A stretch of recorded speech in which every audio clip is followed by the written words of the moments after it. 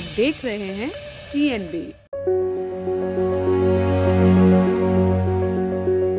अगर पति के पास नहीं है कमाई का कोई साधन तो क्या पत्नी देगी अपने पति को मेंटेनेंस यानी गुजारा भत्ता? जी हाँ ये सवाल उठता है।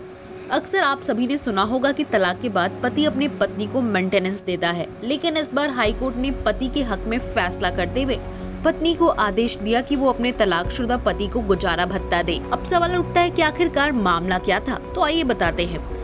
बॉम्बे हाईकोर्ट की औरंगाबाद बेंच ने एक पत्नी को आदेश दिया कि वो अपने तलाकशुदा पति को हर महीने मेंटेनेंस दे। आप सोच रहे होंगे, ऐसा क्यों? तो चलिए जानते हैं। 17 अप्रैल उन्नीस सौ बानवे को एक महिला और पुरुष की शादी हुई। बाद में पत्नी ने क्रूरता को आधार बनाते हुए अपने पति से तलाक मांगा। साल 2015 में नादेड़ की अदालत ने तलाक को मंजूरी दे दी थी। तो वहीं पति ने निचली अदालत में एक याचिका लगाई और पत्नी से हर महीने पंद्रह हज़ार रूपए परमानेंट मेंटेनेंस देने की मांग की। जी हाँ पति ने कहा कि उसके पास कोई सोर्स ऑफ़ इनकम नहीं है। ये बेहद ही सोचने वाली बात है। इसके साथ ही उसने कहा कि उसकी पति ने एमए और बीएड तक पढ़ाई की है और स्कूल टीचर है। बस यही नहीं, पति ने ये भी दावा किया कि उसने अपनी पत्नी को पढ़ाया है। पत्नी हर महीने तीस हज़ार रूपए कमाती है। पति की सेहत ठीक नहीं रहती है। वह कोई नौकरी नहीं कर सकता है। साथ ही साथ पत्नी के पास घर का सारा सामान और प्रॉपर्टी भी है। लेकिन पत्नी कहाँ चुप रहने वाली थी? पत्नी ने दावा खारिज करने के लिए भी कहा।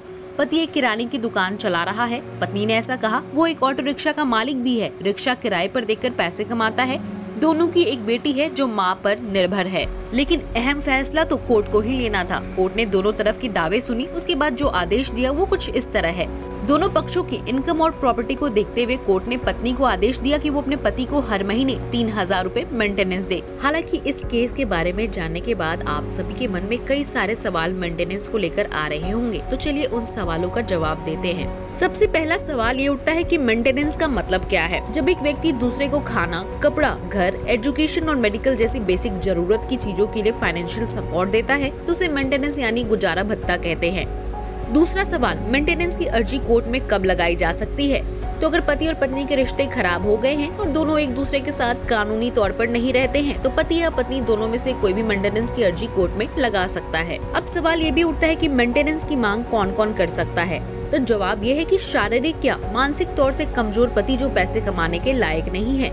दूसरा, तलाकशुदा पत्नी। तीसरा, बुज़ुर्ग माता पिता चौथा अविवाहित या विधवा बहन। साथ ही ज़रूरी बात यह है कि पति ने अगर पत्नी से मेंटेनेंस लेने का दावा किया है तो पति को कोर्ट में साबित करना होगा कि वो शारीरिक या मानसिक तौर पर कमाने के लायक नहीं है और उसकी पत्नी पैसे कमाती है। वही सवाल ये भी खड़ा होता है कि पति के मेंटेनेंस को लेकर कानून क्या कहता है? हिंदू मैरिज एक्ट उन्नीस सौ पंचानवे के अनुसार पति और पत्नी दोनों एक दूसरे से मेंटेनेंस की डिमांड कर सकते हैं।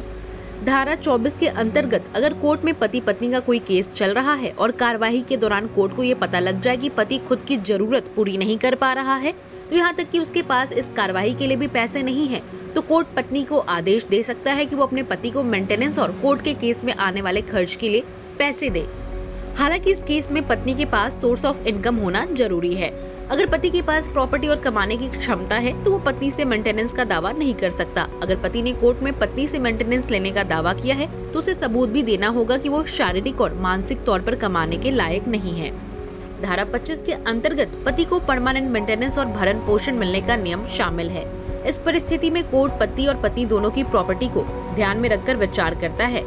मान लीजिए कोर्ट ने पत्नी को आदेश दिया कि वो अपने पति को हर महीने एक परमानेंट मेंटेनेंस या भरण पोषण दे फिर कुछ समय बाद अगर पति कमाने लायक हो जाता है और काम करने लगता है तो पत्नी के दावे पर कोर्ट अपने फैसले को रद्द या बदल सकती है। आखिरी सवाल ये भी उठता है कि इन सब के बीच बच्चों का खर्च देखा जाता है या नहीं?